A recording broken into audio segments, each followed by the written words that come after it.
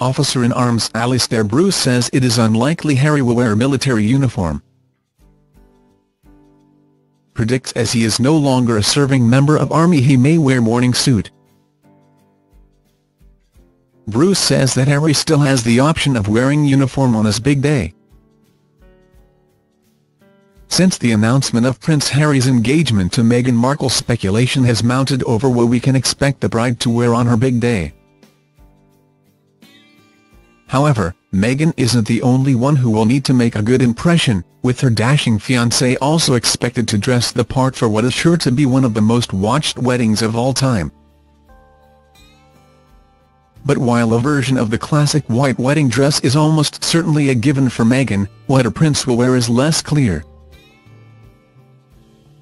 According to one former army officer and respected royal commentator, Prince Harry might not follow in the footsteps of his older brother, who wore full military attire to marry Kate Middleton in 2012. In fact Alastair Bruce suggested that the happy couple's chosen location, St George's Chapel at Windsor Castle, makes it more likely Harry will choose a traditional morning suit. William wore the uniform of the Colonel, Irish Guards at his wedding, because he had recently been appointed to this role by the Queen and his wedding was a ceremonial one. However, according to former Army officer Bruce, a ceremonial expert who is a royal commentator for Sky News, we are unlikely to see Harry in uniform when he and Meghan exchange vows next spring. Speaking to Cosmopolitan, Bruce said, as Prince Harry is no longer a serving officer in the armed forces, it is unlikely he will wear a uniform.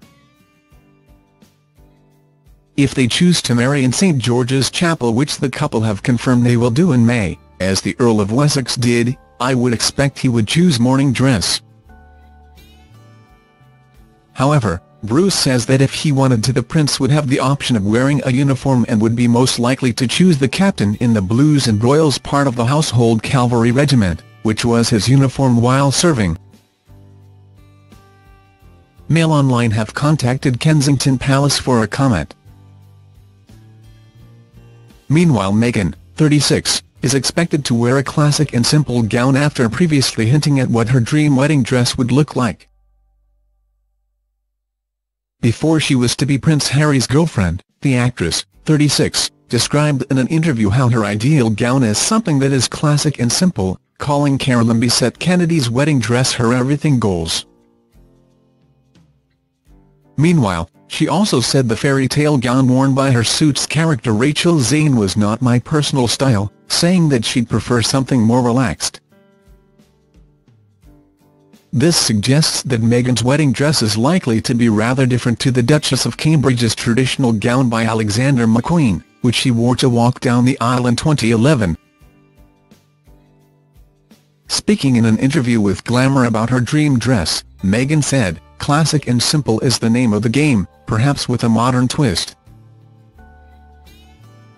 I personally prefer wedding dresses that are whimsical or subtly romantic. Explaining how she wouldn't choose a gown like the Anne Barge dress worn by her character in Season 5, she added, It's not my personal style, because I'm a lot more relaxed than Rachel but I love that I got to play dress up in this gown.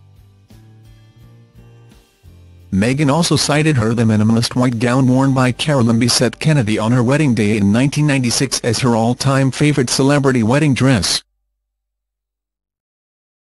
The classic dress worn by John F. Kennedy Jr.'s bride was designed by American designer Narciso Rodriguez, who was little known at the time, suggesting he could potentially be in the running to design Meghan's own gown.